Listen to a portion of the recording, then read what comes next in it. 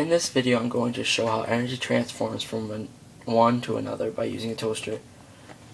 If I was to put the bread in the slots, plug it in, and then push this down, it creates electrical energy that goes through the coils and becomes heat.